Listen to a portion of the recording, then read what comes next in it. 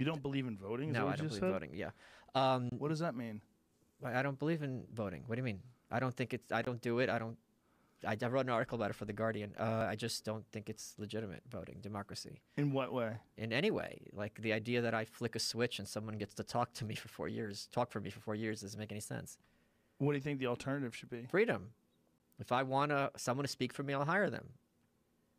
And the idea that me and my neighbors have to be locked into some polity because we're geographically close to each other is landline technology in a post cell phone world. So- So this idea that you're stuck with this person because a lot of people like him for four years and they speak for you, it, it makes no sense to me.